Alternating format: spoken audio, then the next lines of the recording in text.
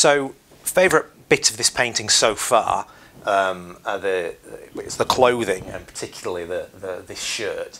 So uh, a checked shirt, quite a challenge, um, but I was very excited about the idea of using the the grey background to create the kind of shadows and the, the almost like the checks are almost like big pixels to create this this checked effect.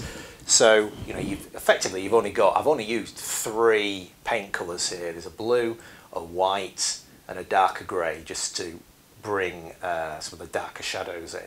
But ultimately that's that's all there is, and I'm really happy with with how that's working out so far.